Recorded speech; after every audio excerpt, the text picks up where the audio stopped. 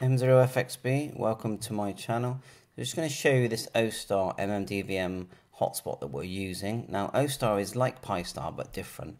The reason we've got it is because it's it's a cheaper hotspot but it's a very nice looking hotspot. It has a colour screen and the back lights up red with the charge. I'll show you in the next part of the video. And you know they're around £100 by the time they get delivered. Now the OSTAR system, this is what the screen looks like and the OSTAR system uh, looks like this. Now there is a setup process, so when you first get it, you just turn it on, and in your Wi-Fi it will show up OSTAR like this. And to that's the username, and the password is the, the same OSTAR, but instead of a flat line, it's an at. So OSTAR at. You put that in, and then you'll get to this screen here. Now, when you first go to settings, it's going to ask you to set up a password.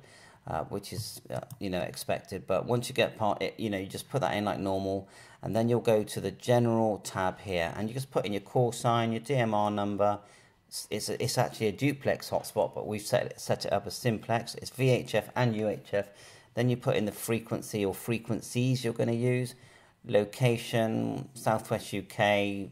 I've put multi-mode hotspot. You've got your QRZ there, and that's it. Then click save and apply when you you've done that there. Then you go to digital modes, and this is where you're just going to choose if you're going to use DMR, D-Star, Fusion.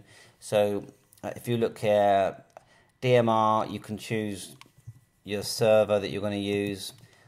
You don't really, well, the color code's there. I didn't change that. Now, I have had a problem. I'm not really sure where to put the self-care password.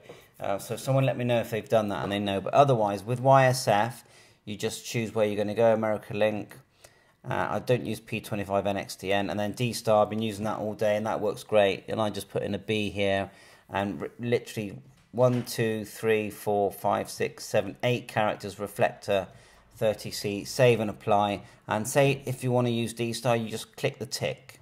If you want to use um, DMR, click the tick. But you can only, as far as I can see, you should only do one at a time.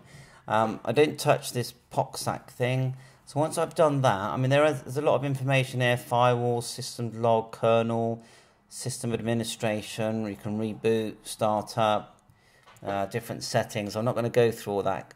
Now, the important one, though, is TravelMate. So go to Services and go to TravelMate, and that's where you actually have to add your Wi-Fi or it won't work. So go to TravelMate under Services, then go to Wireless Stations, and I've added Mercury, as you can see, you can add and then you can move the important one up and down. I wouldn't delete the ones that come with the device because if you reset it, that's what it uses.